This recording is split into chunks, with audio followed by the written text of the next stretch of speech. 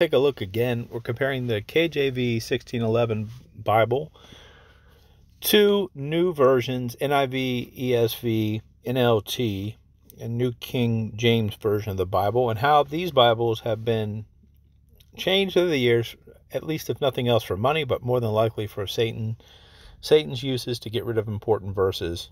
This is part two. I did do a part one. If you're new to the Bread of Life Watchman channel, subscribe, give a thumbs up, hit the like button, and would like to have you join us. Uh, leave your prayers your comments below in the box. Also, join us on bloodchurch.org, bloodchurch.org, and you can send me emails um, and contact me on that site as well.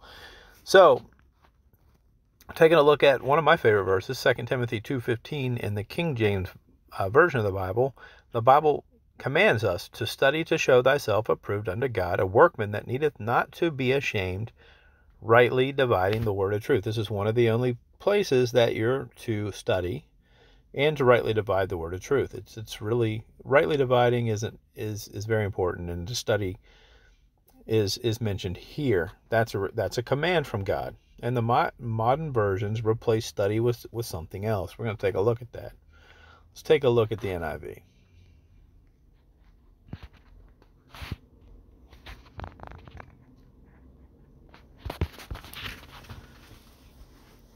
So the NIV will change 2 Timothy 2.15 to start out instead of saying study, it'll say do your best to present yourself to God as one approved. And then it will continue a worker who does not need to be ashamed and who correctly handles the word of truth.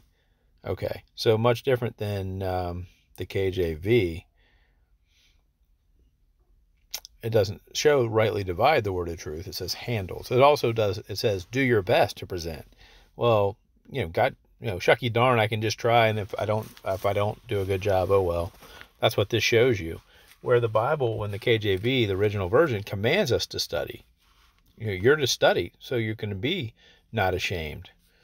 Not just do your best so you're not ashamed. And the new and um, you know, the NLT does does the same thing. It's actually the exact same. So I'm not gonna I'm not going to show that. The ESV, let's see what it says. It's a little bit different than the NLT and the NIV.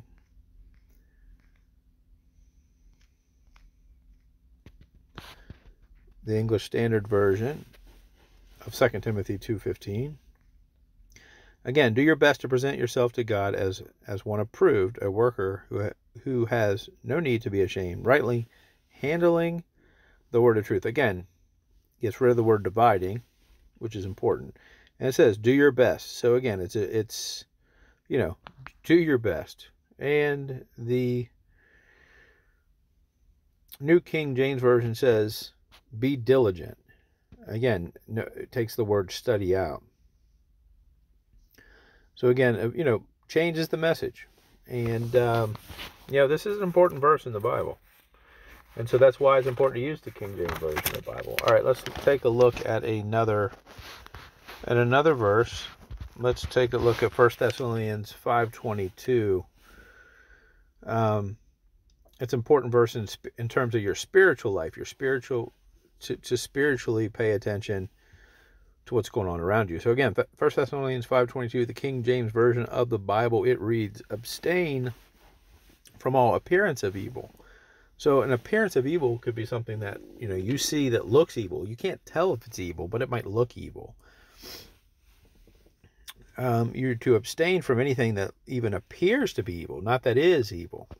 So let's take a look at the NLT and the NIV in this case are the same. So we can we can just pick one of them.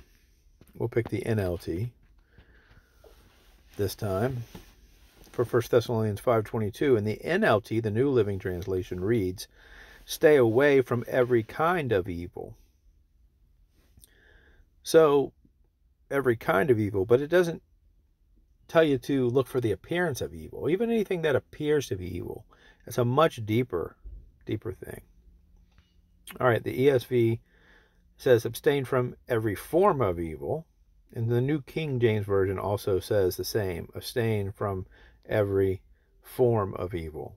And again, taking the word appearance out of it.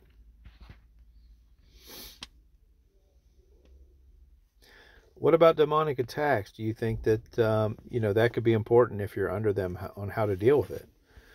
The King James Version, the only verse that shows you what to do about a demonic attack is found here at Mark 9 29. So if you're dealing with this in your life, this would be important to you. And the King James Version of the Bible reads, And he said unto them, This kind, this kind, so it was a special sort of evil spirit, can come forth by nothing but but by can come forth by nothing but by prayer and fasting. So if you look at verse 28, let's just go read the full chapter for a sec.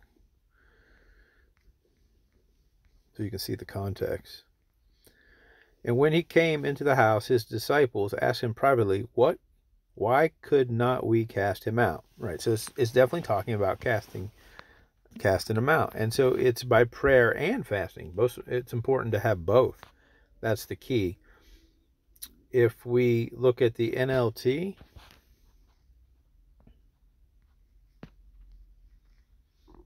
we'll just look at the ESV first. Found that one first. And he said unto them, This, this kind cannot be driven out by anything but prayer. I don't see the word fasting. Now, it does say in a footnote, some manuscripts add and fasting. So the ESV that just makes itself look bad. Like it, it's not even the the real. At least it gives you a chance to see that, but it's horrible. All right, the the the new international version. He replied, "This kind can come out only by prayer." And again, in the footnote, is going to reference something different. It's going to reference something different. The NLT New Living Translation, Jesus replied, This kind can be cast out only by prayer. Again, footnotes make it look horrible. And they're not they're not telling you the truth here. It's not telling you the truth here. It's by prayer and by fasting. According to the King James Version of the Bible. All right, let's take a look. That's demon possession. That's really important to know how to handle that. Let's take a look at Matthew 17, 21, and we'll We'll end it here. The King James Version of the Bible at Matthew 17 21 reads, Howbeit this kind goeth not out by prayer and fasting. So this is about uh, demonic attacks again, and this is the only verse dealing with it. Um, the NLT, if you search it, will have no results found for this verse. So it's removed it. The NIV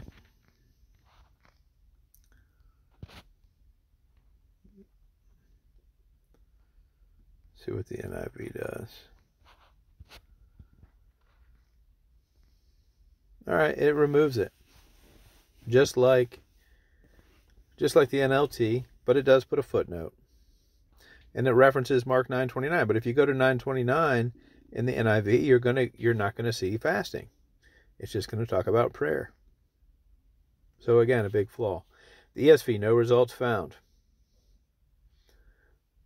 So, you know, bottom line is if you're dealing with demonic attack or possession, you don't know the correct way of prayer and fasting to cast out these these evil spirits and entities. No, you simply don't have the truth. It just says prayer. And again, this, my friend, is why it's important, so important, to have the Word of God, the proper Word of God, the unchanged, originally translated English version, and not go with any of these new modern Bibles. The KJV is the authorized version. God bless and have a great day. Hit the like button on the way out.